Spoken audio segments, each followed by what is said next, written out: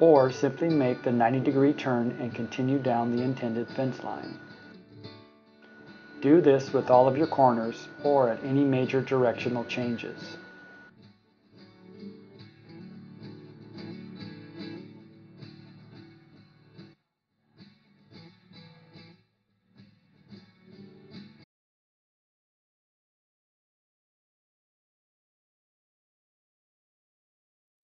Net makes its own gate. Disconnect the Energizer if you prefer. Grab hold of the end posts and simply move that portion as desired to make your gate opening.